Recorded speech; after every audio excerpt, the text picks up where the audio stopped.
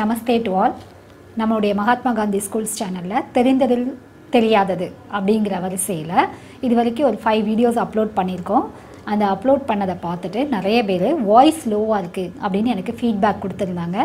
அவங்களுக்குலாம் ரொம்ப தேங்க்ஸ் அந்த ஃபீட்பேக்கை பேஸ் பண்ணி இன்றைக்கி வாய்ஸை அப்கிரேட் பண்ணுற விஷயமா மைக் செட்டிங்ஸ் எல்லாமே அரேஞ்ச் பண்ணி இப்போ இந்த வீடியோவை நான் உங்களுக்கு கொடுத்துட்ருக்கிறேன் இந்த வாய்ஸ் உங்களுக்கு கிளியராக இருக்கும்னு நம்புகிறேன் இன்றைக்கி நம்ம பார்க்கக்கூடிய டாபிக் என்னன்னு பார்த்தீங்கன்னா கலர்ஸ் கலர்ஸ்னாலே நமக்கு தெரியும் நிறைய கலர்ஸ் இருக்குது ஒவ்வொருத்தருக்கும் ஒவ்வொரு கலர்ஸ் ஃபேவரட் கலர்ஸ் இருக்கும்.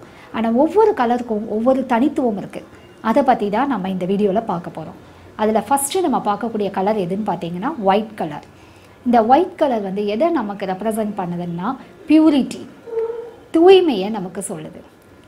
எங்கெல்லாம் தூய்மை இருக்கோ அங்கெல்லாம் ஒயிட் கலர் இருக்கும்.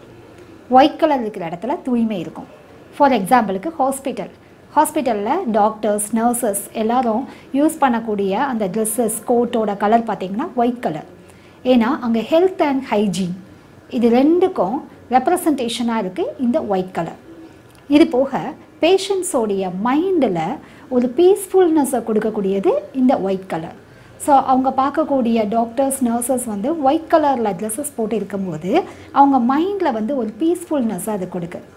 ஸோ இப்படிப்பட்ட ஒயிட் கலர்ஸை அவங்க ப்ரொஃபஷனுக்கு தகுந்த மாதிரி இன்றைக்கி டாக்டர்ஸ் நர்சஸ் எல்லாம் யூஸ் பண்ணிகிட்டு இருக்கிறாங்க.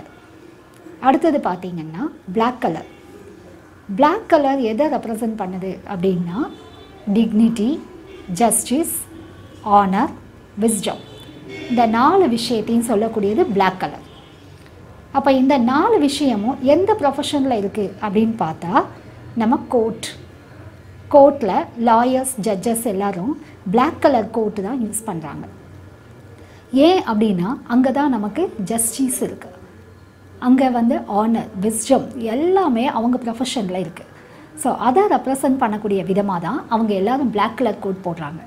நான் ஃபஸ்ட்டே சொன்ன மாதிரி பிளாக் கலர் கோட் போடுற இடத்துல ஜஸ்டிஸ் இருக்கும் விஸ்டம் இருக்கும் ஆனர் டிக்னிட்டி எல்லாமே இருக்கும். ஸோ இது வந்து பிளாக் கலர் நமக்கு சொல்லக்கூடியது. இது மாதிரி இருக்கக்கூடிய மற்ற கலர்ஸ் பற்றியும் நம்ம அடுத்தடுத்த வீடியோவில் பார்க்க போகிறோம் இன்னும் சொல்லப்போனால் இன்றைக்கி இந்த கலர்ஸ் பற்றி ஒரு தெரப்பியே வந்தாச்சு.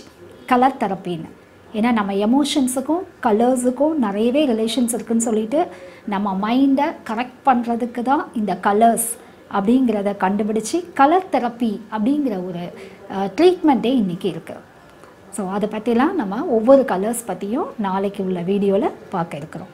தேங்க்யூ